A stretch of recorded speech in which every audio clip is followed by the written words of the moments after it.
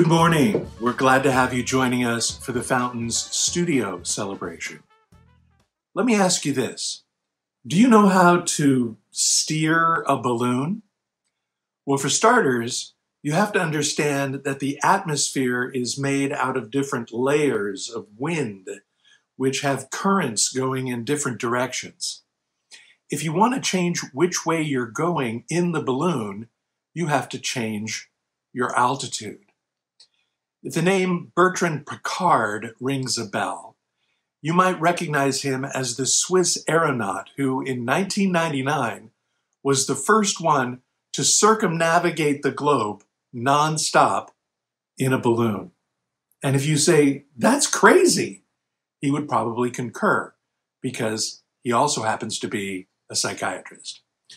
When asked by a reporter how the Breitling Orbiter 3 changed altitude.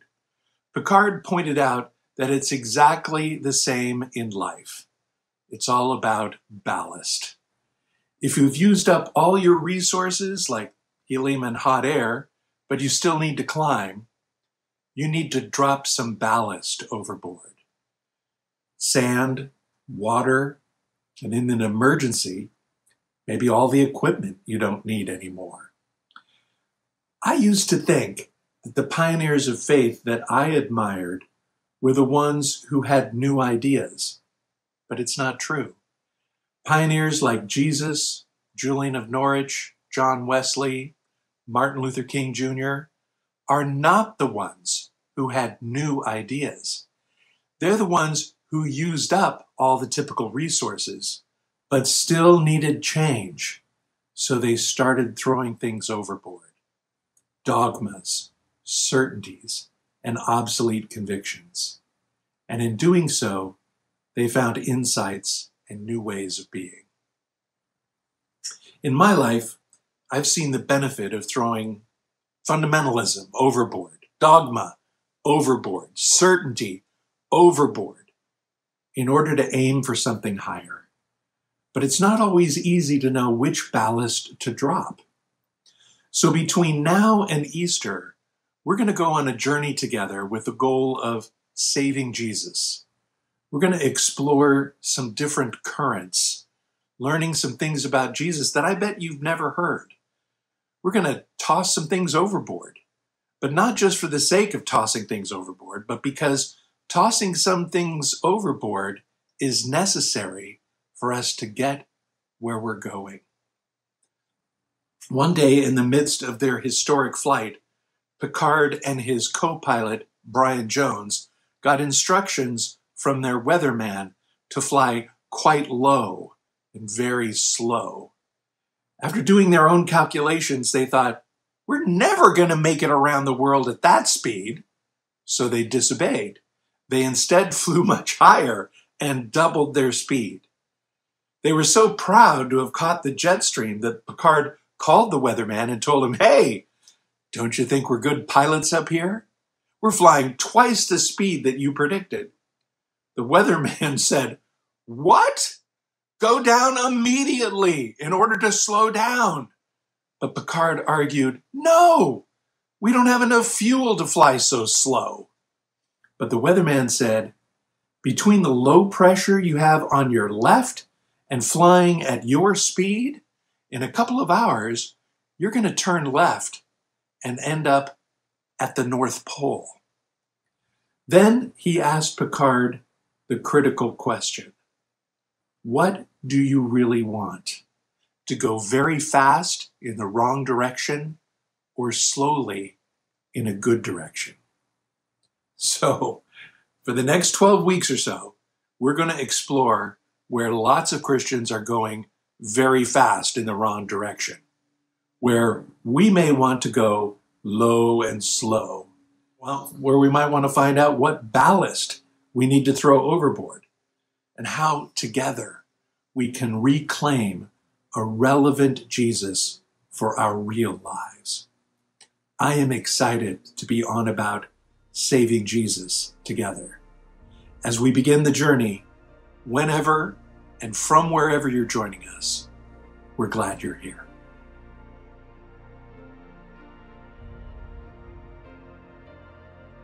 Join me as we get in the spirit. Love is creative and redemptive.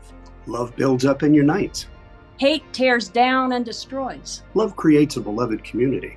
Physical force can repress, restrain, coerce, destroy. But it cannot create and organize anything permanent. Only love can do that. Understanding. Goodwill, Yes, love. even for one's enemies. Love is the solution.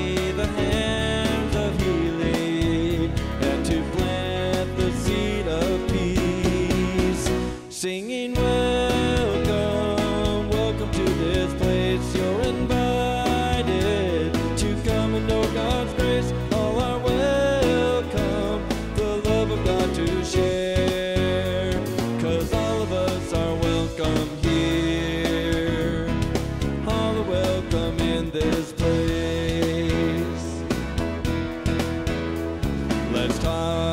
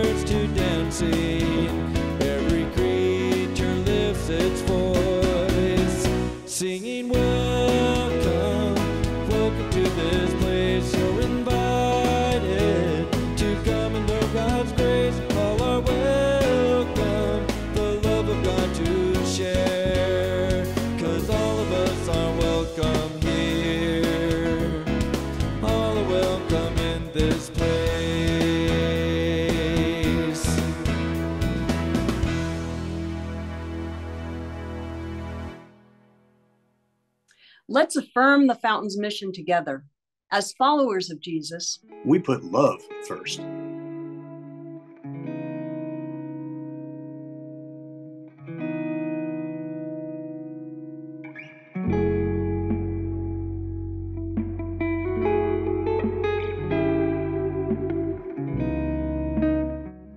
As we take time to acknowledge the legacy of Martin Luther King Jr. this weekend, I encourage you to pause for a moment to reflect on the challenges still before us as followers of Jesus. Many of the same challenges that MLK himself faced ignorance, fear, deeply entrenched racism. And as we center ourselves today, I encourage you to join me in reflecting on the promise of what Gandhi called satyagraha, or soul force, in calling forth the best in who we are as human beings. MLK called it dreaming God's dream in the beloved community, and it can only come to pass through a continued commitment to nonviolence and loving our enemies. And as the world still hasn't taken Dr. King's message to heart, we have a lot of work to do. So we pause prepare ourselves, center ourselves, and be open to the Spirit's guidance. As we breathe deep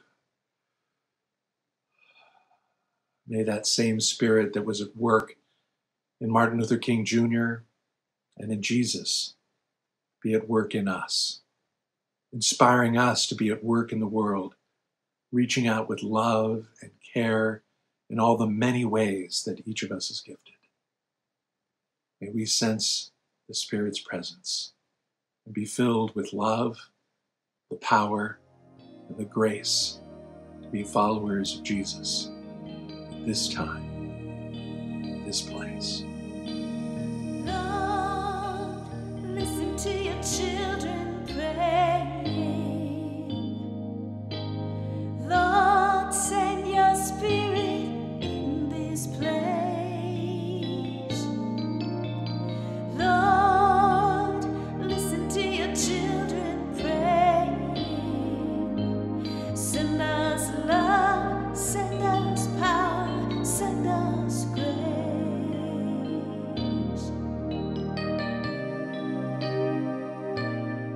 God, we come to you today, grateful that you have kept us through the long night of the past and ushered us into the challenge of the present and the bright hope of the future. We thank you, God, for our spiritual nature. Help us never to let anybody or any condition pull us so low as to cause us to hate. Give us strength to love our enemies and to do good to those who despitefully use us and persecute us. We thank you for the church that challenges us to do more than sing and pray, but to go out and work as though the very answer to our prayers depended upon us and not upon you. Keep us, we pray, in perfect peace. Help us to walk together, pray together, sing together, and live together until that day when all God's children, black, white, red, and yellow, will rejoice in one common band of humanity in the reign of our Lord and of our God. This is our prayer.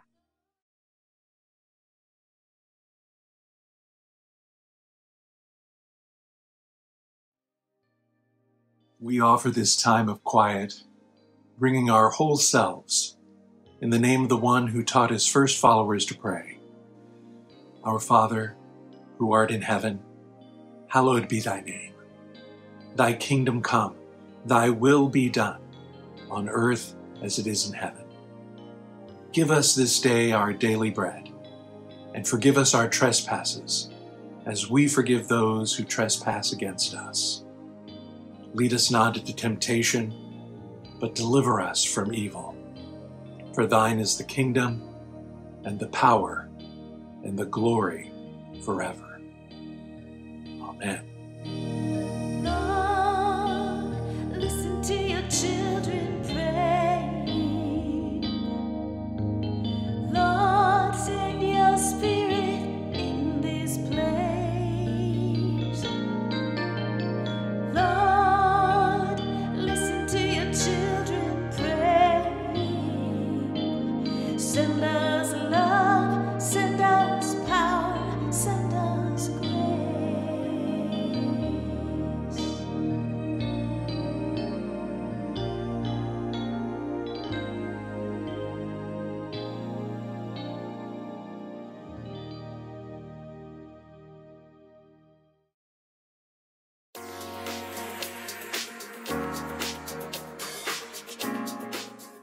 Most important parts of being a Christian and living a Christian life is serving others. One of the first things that attracted me to the fountains is the mission statement We put love first. And the fact that a big part of the church's vision of that statement is service to others. Participating in missions through the church is one of the best ways that we can do that. The Fountains has many different mission projects, and as a person who works full time, some are more doable for me than others. As much as I would like to, taking a few days to go to Mexico or to the Navajo reservation to participate in a mission project is not as feasible.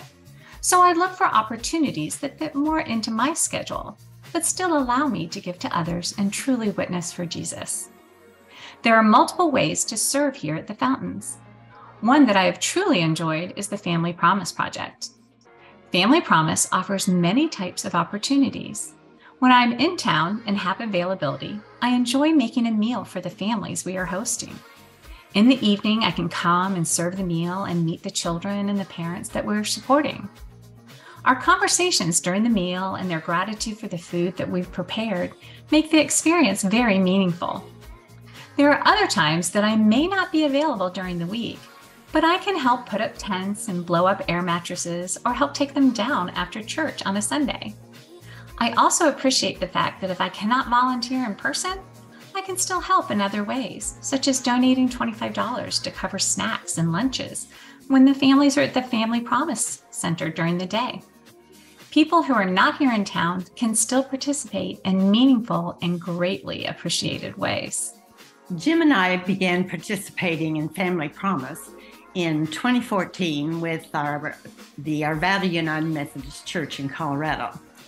We've always been concerned about homelessness, but we were drawn to this program because it involves only families.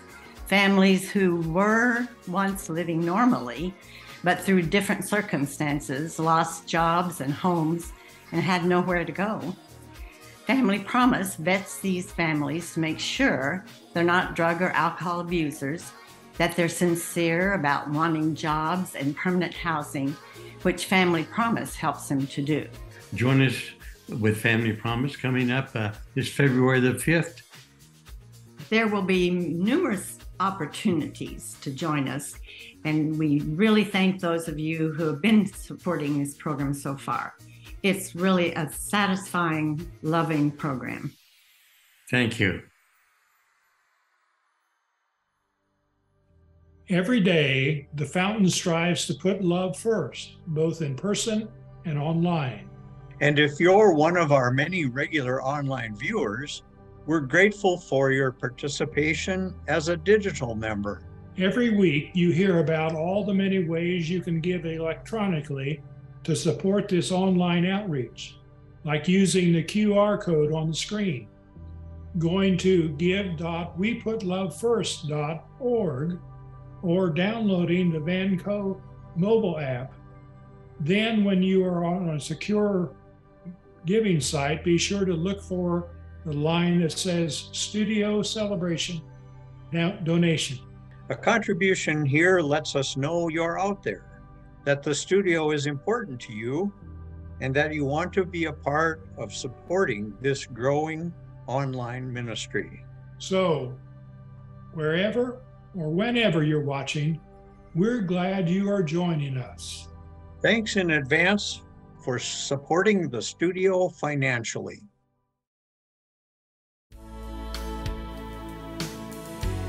We shall overcome. Deep in my heart, I do believe we shall overcome.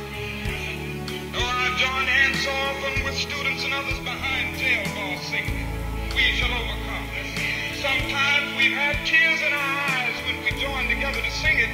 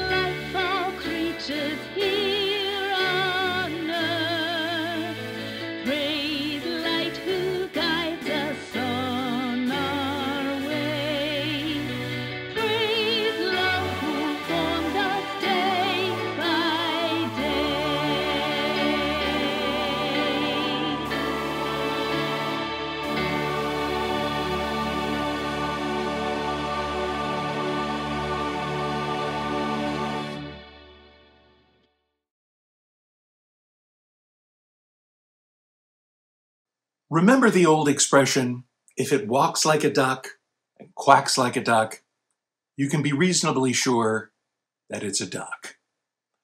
Not a lot of people know that that's actually a quote from Jesus, right here in our passage today.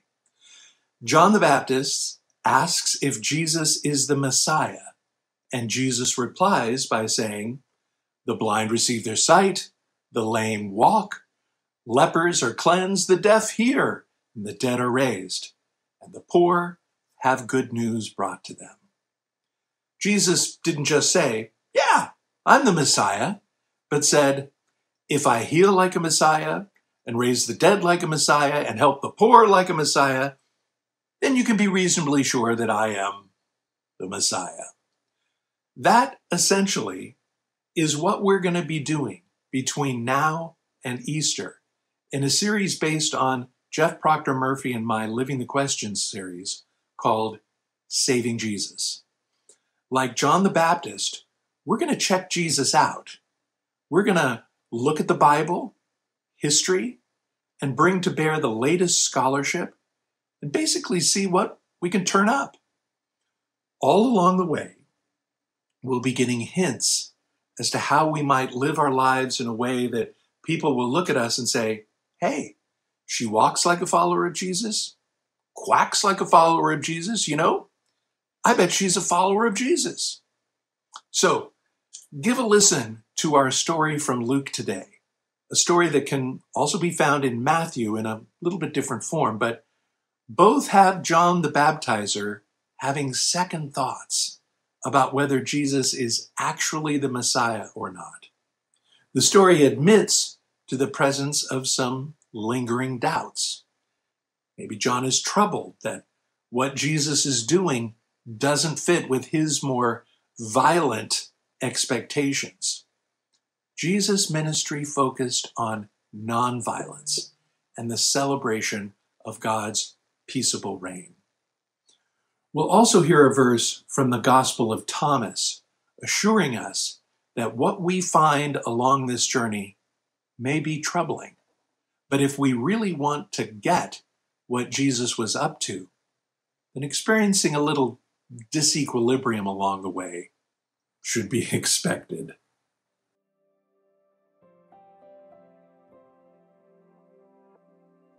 Our words of wisdom are from Luke chapter 7, verses 18 through 23, and from the Gospel of Thomas, verse 2a. So from Luke, the disciples of John told him of all these things, and John, calling to him two of his disciples, sent them to the Lord, saying, Are you he who is come, or shall we look for another? And when the men had come to him, they said, John the Baptist has sent us to you, saying, Are ye who is to come, or shall we look for another?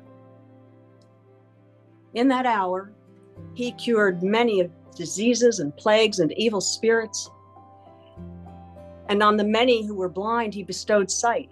He answered them, Go and tell John what you have seen and heard. The blind receive their sight, the lame walk, lepers are cleansed, and the deaf hear. The dead are raised up, the poor have good news preached to them. And blessed is he who takes no offense at me. And from the Gospel of Thomas, Jesus said, Let him who seeks continue seeking until he finds. And when he finds, he will become troubled. And when he becomes troubled, he will be astonished. Hear what the Spirit is saying to the church. Thanks be to God.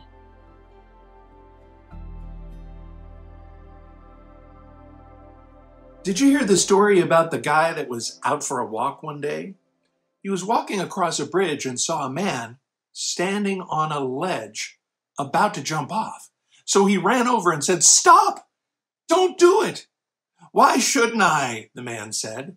Well, there's there's so much to live for. Like what? Well, are you religious?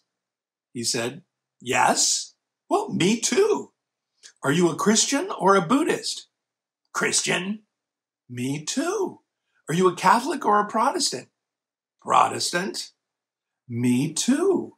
Are you an Episcopalian or a Baptist? Baptist. Wow, me too. Are you Baptist Church of God or are you Reformed Baptist Church of God? Reformed Baptist Church of God. Me too.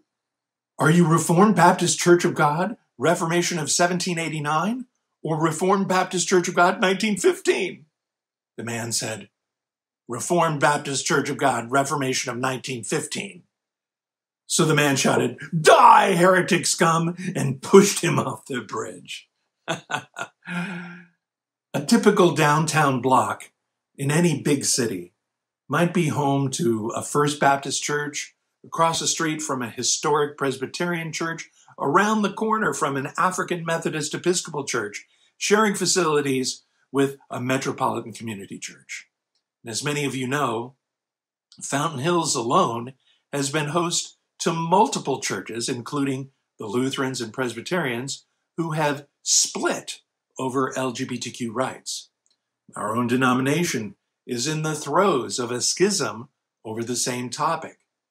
And if you're tempted to wring your hands in despair about how horrible it all is, that we can't just all get along and declare, oh my, what has Christianity come to? Don't waste your breath. It's been like this from the beginning.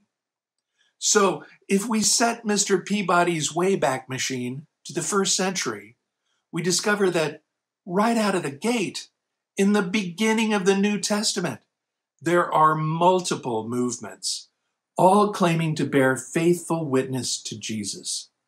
And certainly there were other reforming movements afoot. Jesus' cousin, John the Baptist, had his own separate movement. And in our passage today, we have him making sure in his own mind that Jesus is the real deal.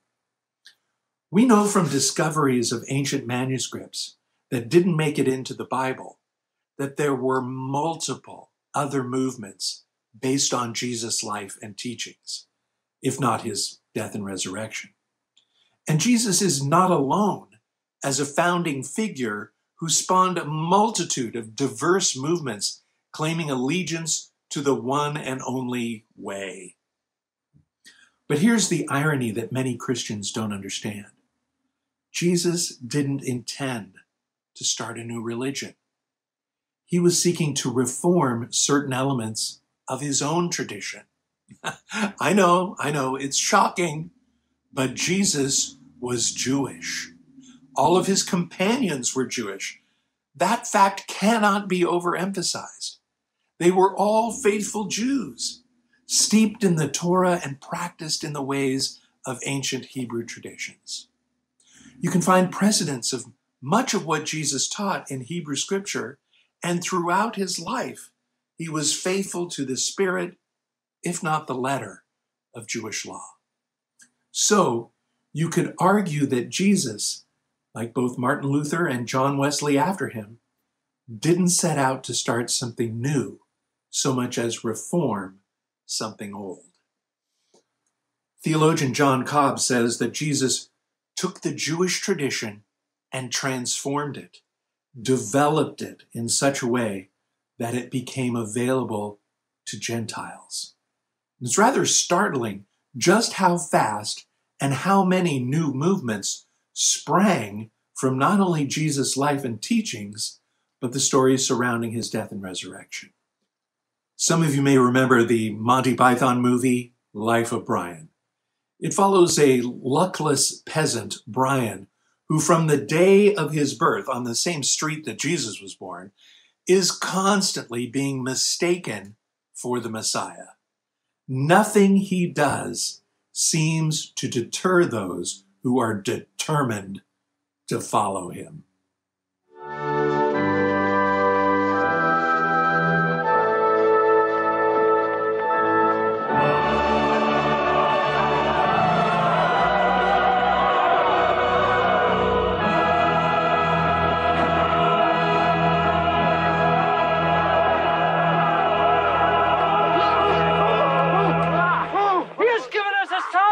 He has given us a sign. He has given a shoe. The shoe oh! is the sign. Let us follow his example. What?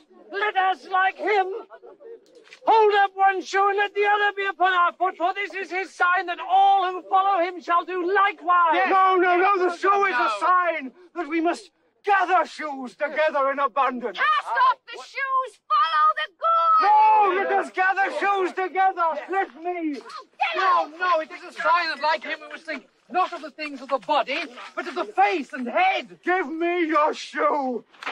Get off. Follow the gourd, the holy gourd of Jerusalem. Good. Hold up the sandal as It is he a has shoe, commanded it is a shoe. It's It a is a sandal. sandal. No, it is Put it not. on. Cast it away. Put it on. clear off. Take the shoes and follow him. Yes. Stop!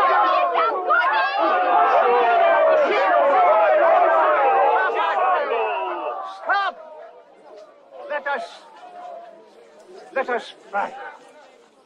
Yea, he cometh to us like the seeds of the grave.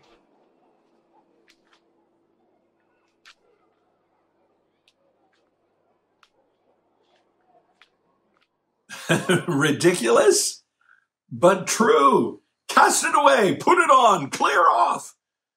We run around saying, We've got the right way. Believe like us or else. Turn or burn. The tribal us versus them mob mentality is deeply ingrained in us. We want to be on the winning side.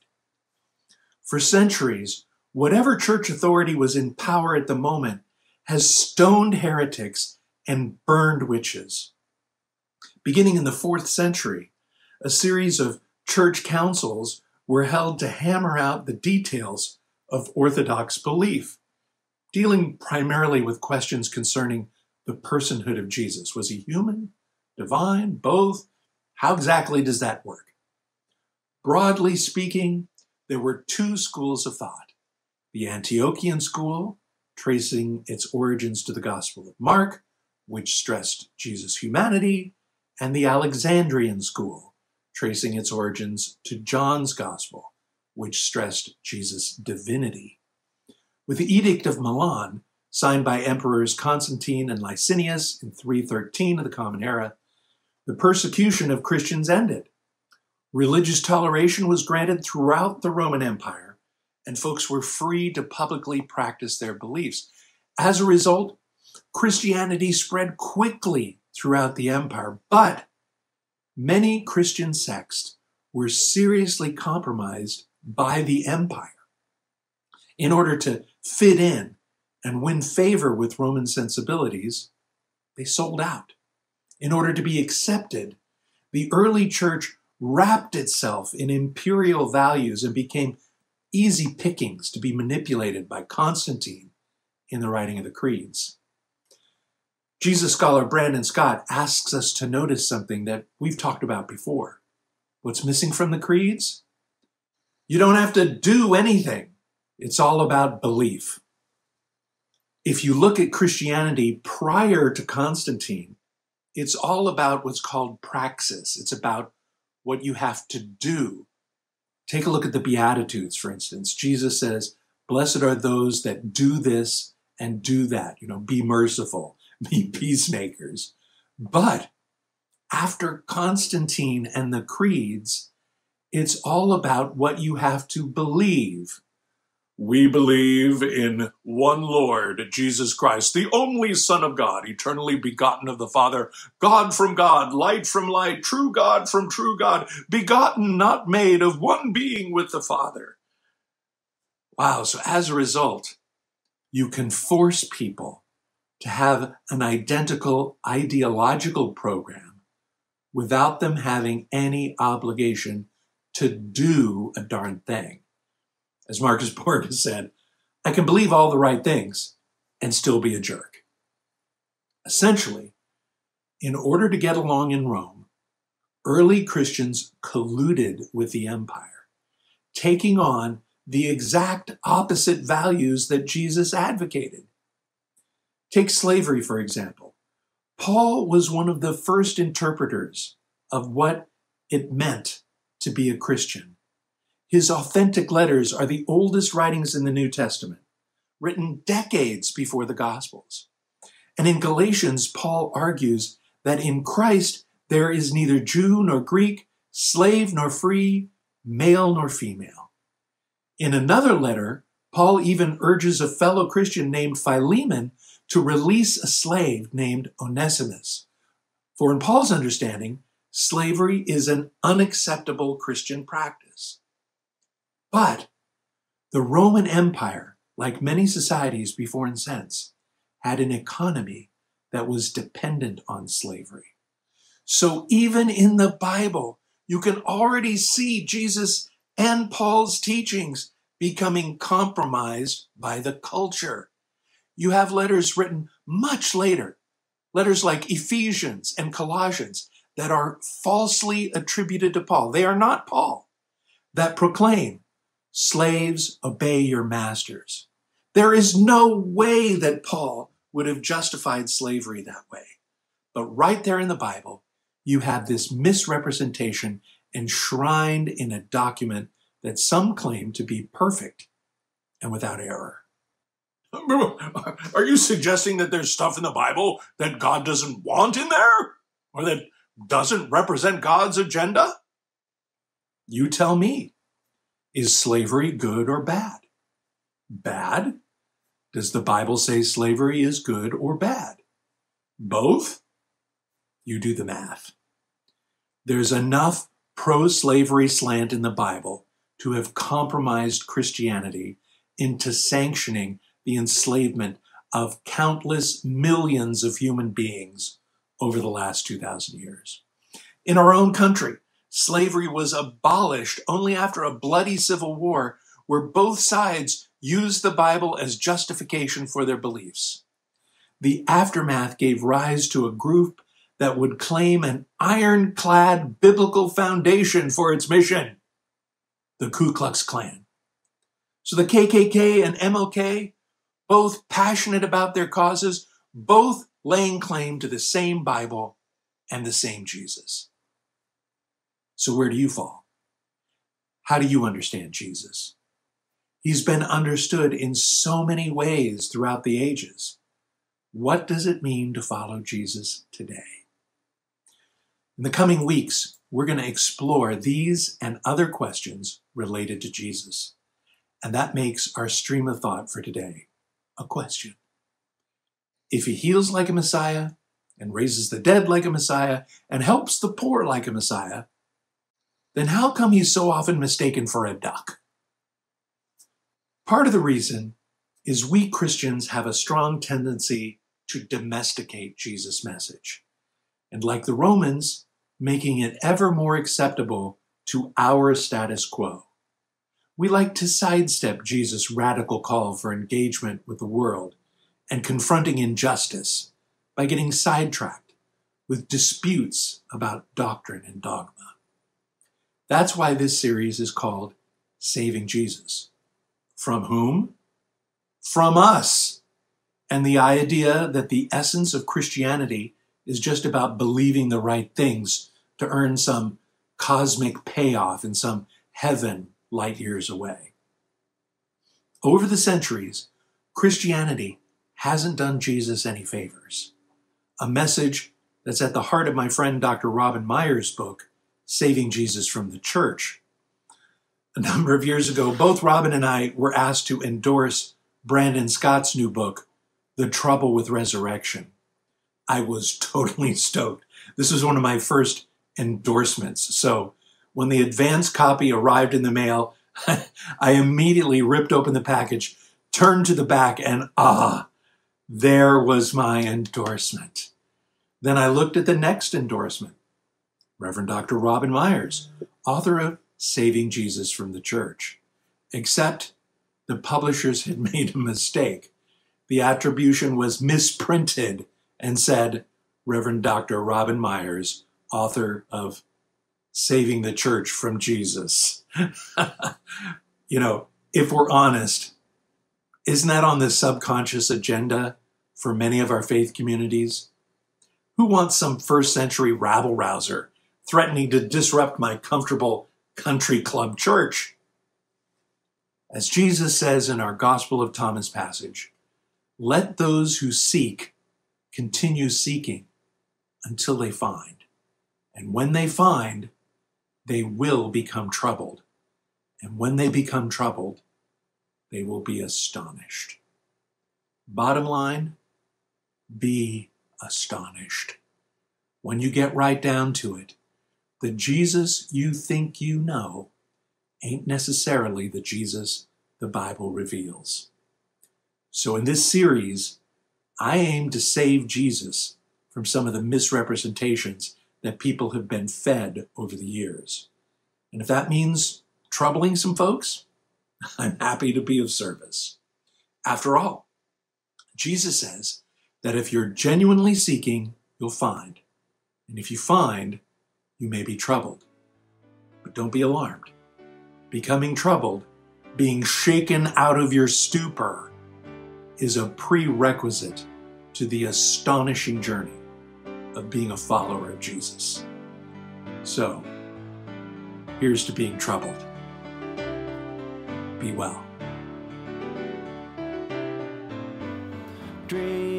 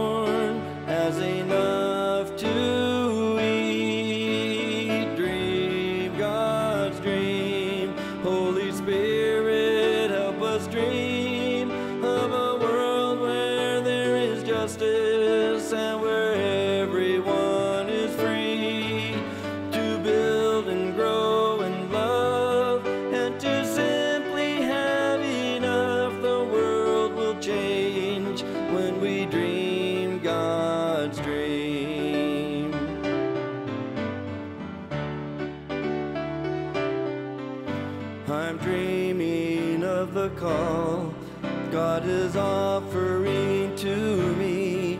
How to use my energy and my best gifts to do the work of Christ. To say, God, please use my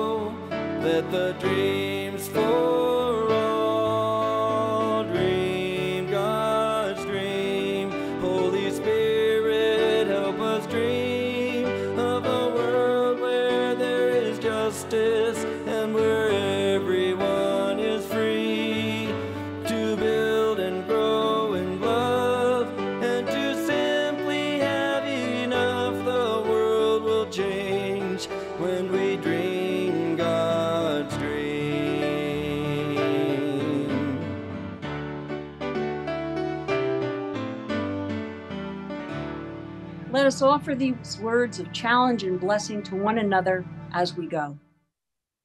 Now may the Spirit that gives us life and gives us comfort and hope through grace be present in our hearts. and prepare us for every good word and work.